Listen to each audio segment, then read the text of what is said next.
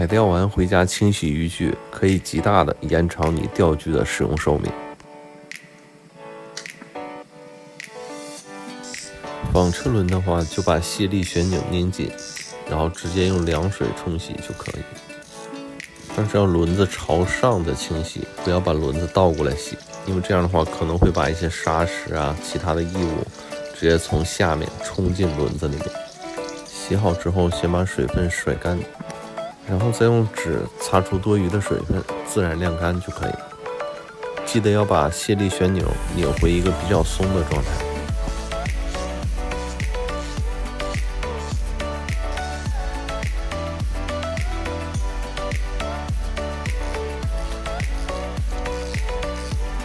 清洗杆子的时候，尽量用凉水，不要用热水。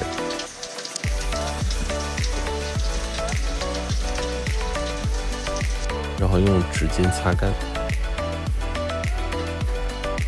顺便也把当日用过的所有钓饵用凉水清洗一遍。首先把鱿鱼皮夹克脱了，再把它毛裤也脱了，脱不下来拿刀刮。这条鱿鱼爆装备了一把白色的卓越的破塑料剑，然后装模作样的随便划了两下，假装在拉滑刀，然后切成适合自己嘴型的小块儿，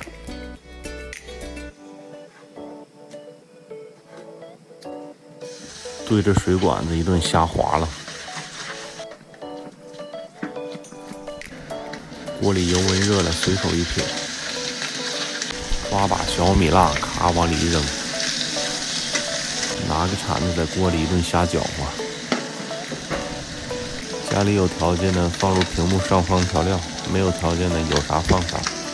闭眼睛一顿瞎搅和，假装专业的颠个勺，出锅。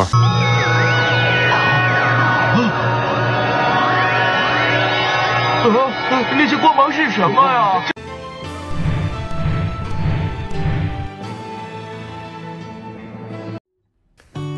欢迎关注、点赞、评论，